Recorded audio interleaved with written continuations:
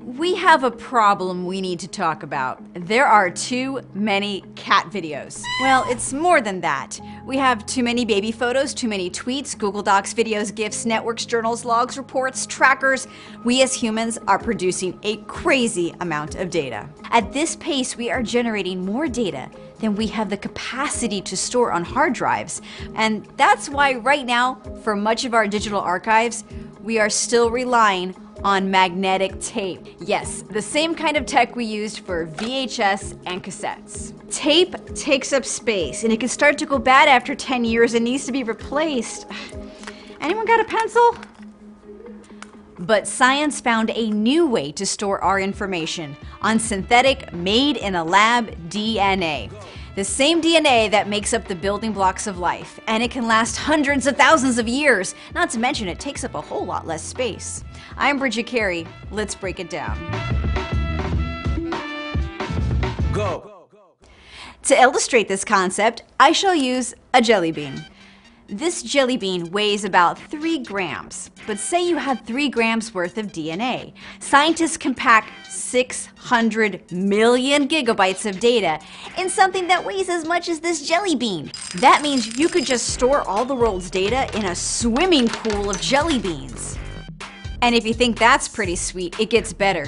There's a company that already figured out how to turn this into a business. It is using DNA to store Bitcoin passwords. So, what is in this vial exactly? It is a 12 word passphrase that would give access to a cryptocurrency wallet. So, inside a little drop of liquid is a cryptocurrency wallet key. Correct.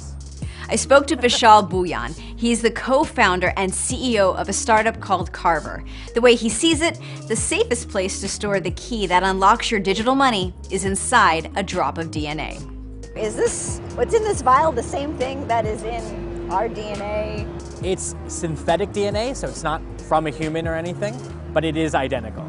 Oh, sure, you could be a boring person and write down your Bitcoin information on a piece of paper or save it on a computer file. But think of how fast technology changes. What if you store important information on a thumb drive, but 20 years from now, no one is using thumb drives? I found this floppy disk in my parents' house. It was mine when I was a kid. But what if I saved something important on it? Will I ever find a way to see what's in this historic treasured memory? Or maybe it's just some old middle school homework. I really don't know. Technology changes, but DNA will always be around. It's durable and can last thousands of years in a cold, dry place. I feel like I can damage this. Is it fragile? Like, no, like you're good. Yeah, like Yeah. like like how well can DNA be stored? Like you can like go like that. You can shake it around. Like it's good. DNA is the only thing that won't ever become obsolete. Sequencing technology is getting faster and cheaper, just every couple of years, and so and it's always relevant. As long as we're alive, DNA will always be a relevant medium. But uh, about that whole cost thing, making synthetic DNA for data is not cheap. Carverr customers pay $1,000 to get this done, and that's just for a really little bit of data. To me, I think to pay the $1,000 to do this is absolutely worth it as an insurance policy on my current holdings and where I think they could be in the future. Nate is one of Carverr's customers. I met him in his apartment on the first day he got his DNA data in the mail, which he keeps in the freezer. For him, the DNA is a backup to his backup in case something happens to the computer he stored it on. And if that day comes, he'll need to send it to a lab to read the DNA sequence. It's the final insurance policy and the last line of defense in case the other solutions fail. Am I am I holding your retirement plan? Maybe I should give this back to you. I, I hope you are. That, that's, that's the goal, that one day this will be the retirement plan. Carverr says it has 28 clients so far, and in time, you may see competitors pop up with different storage ideas.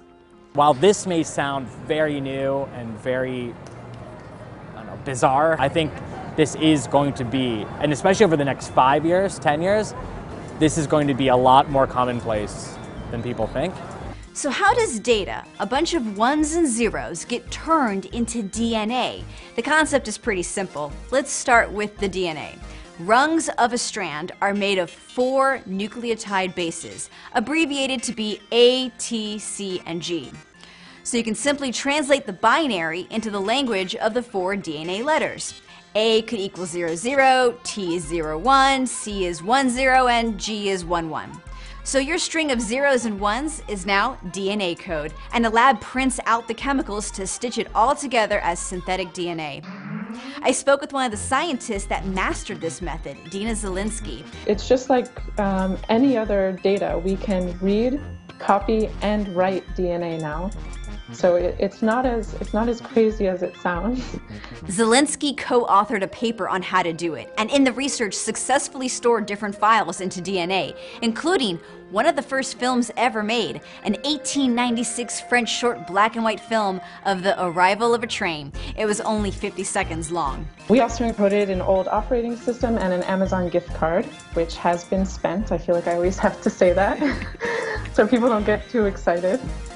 In total, her team put 2 megabytes of data on DNA, and the process cost 7 grand. So DNA storage is too expensive now to be practical. Putting the family photo album on DNA will have to wait.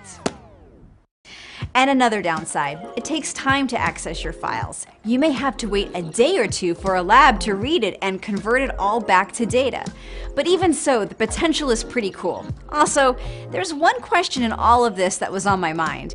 If data can be turned into DNA, can we store data in ourselves, inside the DNA that lives inside of us? That's probably the most common question, actually. I mean, the answer is yes, we could do it, but it, it's there's still a lot about our own DNA that we don't know.